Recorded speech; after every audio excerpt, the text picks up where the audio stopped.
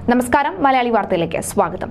കോൺഗ്രസ് നേതൃത്വത്തിന്റെ അപ്രഖ്യാപിത വിലക്കിനിടയിലും ശശി തരൂരിന്റെ മലബാർ പര്യടനം തുടരുകയാണ്.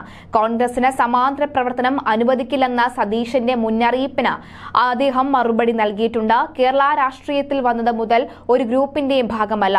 വിഭാഗീയതയുടെ എതിരാളിയാണ് ഞാൻ. ഒരു ഗ്രൂപ്പും ഞാൻ സ്ഥാപിക്കാൻ ഉദ്ദേശിക്കുന്നില്ല. ഒരു ഗ്രൂപ്പുകളിലും വിശ്വാസമില്ല. കോൺഗ്രസിന് വേണ്ടിയാണ് ഞാനും രാഘവനും നിൽക്കുന്നത്. അച്ചടക്ക ലംഘനം നടത്തി എന്നതിന് മറുപടിയില്ലെന്നും ശശി തരൂർ വ്യക്തമാക്കിയിരുന്നു. അതേസമയം കോൺഗ്രസിൽ സമാന്തര പ്രവർത്തനം അനുവദിക്കില്ലെന്ന് പ്രതിപക്ഷ നേതാവ് വി ഡി സതീശൻ വ്യക്തമാക്കി.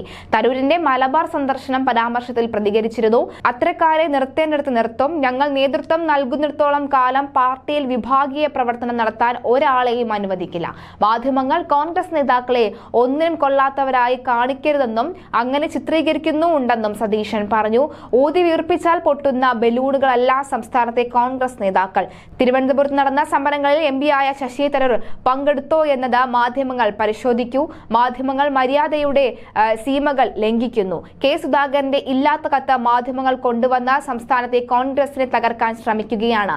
ഘടകകക്ഷി നേതാക്കൾക്ക് കോൺഗ്രസ് നേതാക്കളോട് ഹൃദയബന്ധമാണുള്ളതെന്നും പാണക്കാട്ടെ ശശി തരൂരിന്റെ സന്ദർശനത്തിന് കിട്ടിയ സ്വീകരണത്തോട് വി ഡി സതീശൻ പ്രതികരിച്ചു. അതേസമയം ശശി തരൂർ മലബാറിൽ പര്യടനം നടത്തുകയാണ്.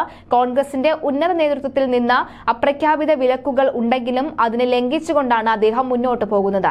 സംസ്ഥാന കോൺഗ്രസിലെ ഒരു വിഭാഗം അദ്ദേഹത്തോടൊപ്പമുണ്ട്. മുസ്ലിം ലീഗ് നേതൃത്വത്തിന്റെ ഉറച്ച പിന്തുണയും അദ്ദേഹത്തിനുണ്ട്. ഇന്ന് പാണക്കാട് തറവാടിലെത്തി മുതിർന്ന മുസ്ലിം ലീഗ് നേതാക്കളുമായി അദ്ദേഹം രാഷ്ട്രീയ വിഷയങ്ങൾ സംസാരിച്ചിരുന്നു. ശശി തരൂരിന്റെ സന്ദർശനത്തെ നല്ല രീതിയിലാണ് മുസ്ലിം ലീഗ് നേതൃത്വം സ്വീകരിച്ചത്.